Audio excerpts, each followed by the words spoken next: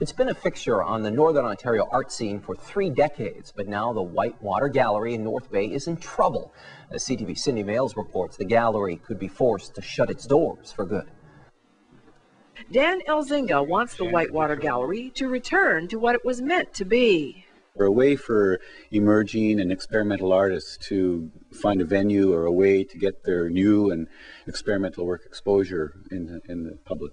The Whitewater Gallery has seen many ups and downs in its 30 year history, and much of them financial. But the problem these days isn't money, it's getting people actively involved.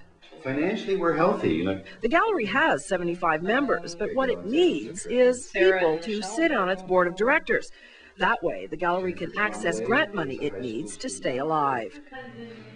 The solution could lie with young artists hungry for a place to show their work.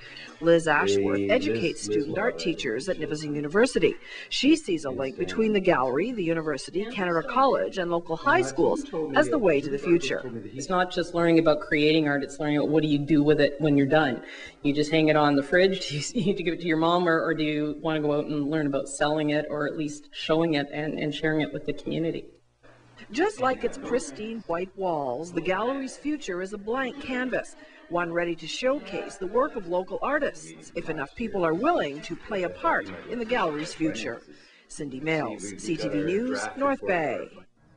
And the Whitewater Gallery has called an emergency meeting for tomorrow night at 7 to discuss the future.